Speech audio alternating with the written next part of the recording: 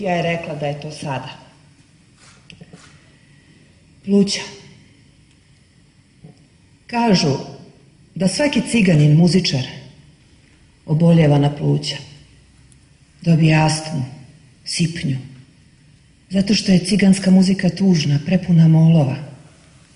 Pa oboli vazduh uokolo. Postane gust i težak, toliko opojan da umiru leptiri i ptice veju sa neba. A disanje? Disanje postaje jecej. Zato je ciganima lakše da pevaju nego da dišu.